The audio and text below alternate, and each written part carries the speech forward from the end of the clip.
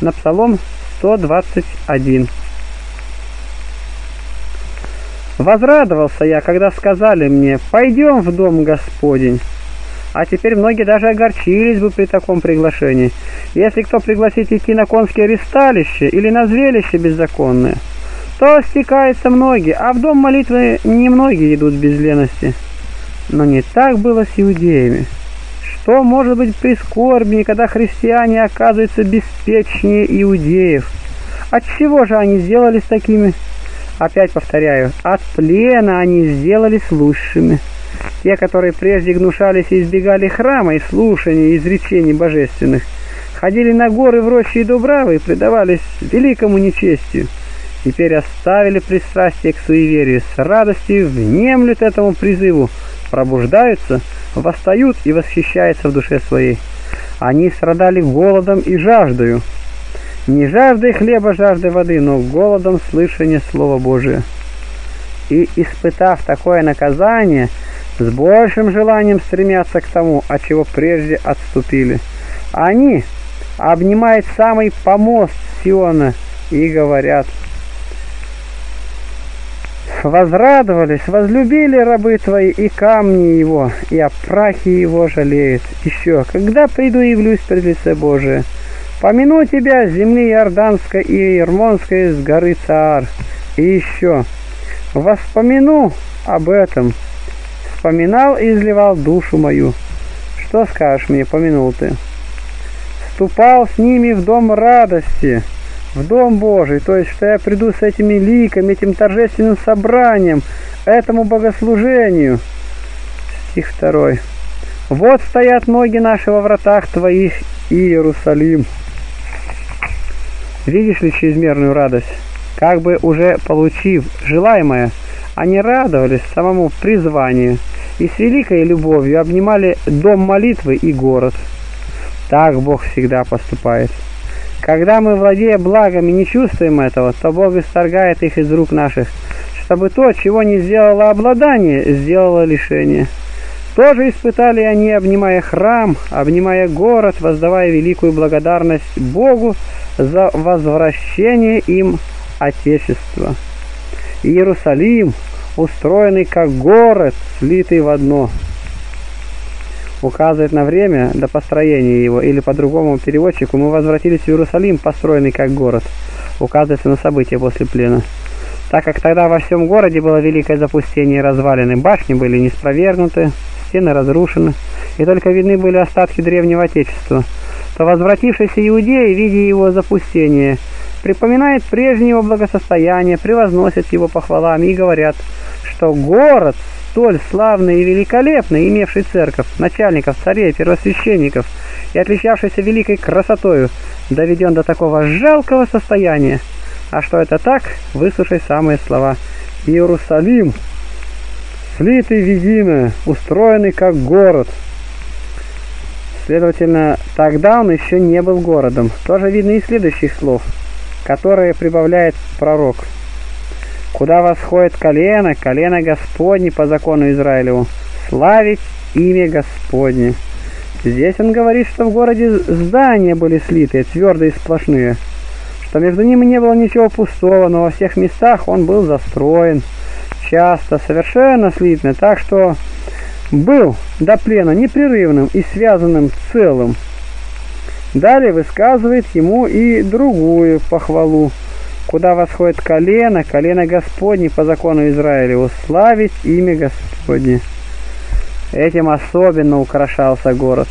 Не столько великолепием и зданиями, сколько тем, что все стекались туда, когда происходило народное или церковное собрание, или предстоял вопрос о чем-нибудь. Так как здесь находился храм, отправлялись все богослужебные обряды, были и священники, и левиты, и царский дворец, и неприступное святое святых, и преддверие, и жертвы жертвенники, праздники, торжества, и молитвы, чтение. Одним словом, так как здесь сосредоточена была вся сущность общественного устройства, то сюда должны были собраться все колена, особенно три раза в год, в Пасху, Пятидесятницу и в праздник Кущи потому что в других местах все это было недозволено. Поэтому-то в похвалу города он и говорит, там зашли колено. Не просто сказал колено, но колено Господне. Хотя все колена были Господними, но им не было дозволено совершать все это в собственном Отечестве. Такая честь была предоставлена столице, собиравшей, привлекавшей к себе всех. 377. Это было установлено в целях Бога познания, чтобы иудеи, блуждавшие повсюду, не имели поводов и путей к идолопоклонству. Потому Бог заповедал там приносить жертвы, там молиться, там отправлять торжества, самым ограничением места, желая оградить, удержать и обуздать их мысли, склонявшиеся к нечестию. Это и выражает пророк словами «колено Господне». Что значит «колено Господне» по закону Израилеву? Величайшее свидетельство, доказательство, знак промышления Божия, при котором не оставалось им никакого оправдания, если они отступят, совратятся и уклонятся к идолам. Это было величайшим свидетельством его промышления, силы и премудрости. Там читался закон – который содержит сведения и повествования о древних великих событиях.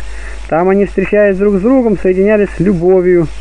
Там совершившиеся торжества служили для них поводом и случаем к взаимным сношениям. Усиливался страх Божий, умножалось благочестие и бесчисленное множество благ происходило от стечения их в этот город. Исповедоваться имени Господи, то есть благодарить, совершать богослужение, молиться, приносить дары и жертвы, что руководило их благочестию и делало общественное устройство более твердым. Там стоят престолы суда, престолы дома Давидова. Вот и другое преимущество города какое? То, что там царские чертоги. Это именно и означает слова. Там стоят престолы суда престолы дома Давидова. Двоякое начальство священников и царей. Там соединялось в одно, так что город украшался как бы двойным украшением, венцом и диадемою. Там были судьи, которым восходили дела, превышавшие разумение прочих. Если в каких-нибудь других городах возникал вопрос, приводивший в недоумение, то его представляли как бы на апелляцию к судьям иерусалимским и оттуда получалось разрешение. Так было в древности, а теперь все было в жалком состоянии. Было совершенное запустение, разрушение, развалины. Немногие остатки зданий жалкого вида, только намекавшие и напоминавшие о прежнем благосостоянии. Впрочем, пророк не ограничился своей речи этими печальными воспоминаниями, но возбуждает радостную надежду и говорит «Просите мира Иерусалиму, да благоденствует любящие тебя. Что значит просите мира Иерусалиму? Иначе сказать просите, требуйте. Другой переводчик говорит приветствуйте Иерусалим. То есть молитесь, чтобы он возвратился к прежнему благосостоянию, чтобы избавился от частых войн, чтобы получил наконец спокойствие. Или это говорит пророк, или пророчествует. Просите мира Иерусалиму, да благоденствует любящий его. Здесь представляется величайшее благоденствие, когда оно не ограничивается только самым городом, но и любящий его наслаждается благами, между тем, как в прежние времена было напротив. Тогда те, которые ненавидели его и нападали на него, были особенно сильны, сильнее и славнее других, и легко одерживали победы. Но теперь те, которые любят тебя, будут в великой безопасности, будут ограждены вместе с тобою. Здесь он разумеет или тех, которые будут содействовать им, или самих граждан. Да будет мир стенах твоих, благоденствие в чертогах твоих. 121.7 Что значит в силе твоей? Значит в недрах твоих, в жителях твоих, в благословении твоем. Так как война разрушительна и погубила его, то и желает им мира. Предсказывает им не только избавление от бедствий, но и получение бесчисленных благ мира, изобилия, плодородия. Какая польза от мира, если будут жить в бедности, нищете, голоде? И какая польза от изобилия, если будет война? Потому он и предсказывает им. и те, и другие блага, и пребывание в изобилии, и пользование им в безопасности в мире. Ради братьев моих и ближних моих говорю я, мир тебе!» Разумеют ли соседи, радовавшихся их падению, и молятся о мире, чтобы и те смирились и познали силу Божию? Или говорит о братьях, живших в городе, Итак, ради братьев моих и ближних моих да будет мир, чтобы вы хотя поздно успокоились, сделавшись от бедности лучшими.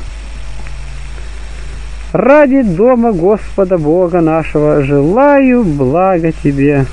Сказав ради братьев моих и ближних моих, и показав, что он молится об этом не ради заслуг их, но чтобы более облагодетельствовать их, прибавляет ради дома Господа Бога нашего – то есть желаю большого мира его славы, для восстановления его богослужения, для большого распространения его учения. Одни из иудеев родились во время плена, а другие были свидетелями отведения в плен и возвращения. Первые узнали обо всем этом от старейшин, о бывшем прежде при совершении богослужения, благолепии и благоденствии, которого они лишились. Видишь ли, как он смиряет их гордость, чтобы не подумали, будто они получили благо, как потерпевшие достойное наказание, но знали, что они возвращены в свое Отечество для славы Божией. И, зная это, были осторожны, что, предаваясь прежним грехам, не испытать того же. Зная это, и мы будем всячески стараться не падать. Если же когда-нибудь впадем в грехи, то постараемся скорее отстать и не обращаться к прежнему чтобы не услышать сказанного расслабленно. Вот ты здоров, смотри, не греши более, чтобы не случилось чего хуже. Иоанн 5.14. Это сказано для того, чтобы научить добродетельных крепко хранить свою добродетель, а освободившихся от грехов оставаться при доброй перемене, дабы всем вместе получить небесное благо, которых – да сподобимся всем и благодати человеколюбим Господа нашего Иисуса Христа, которому слава и держава во веки веков. Аминь.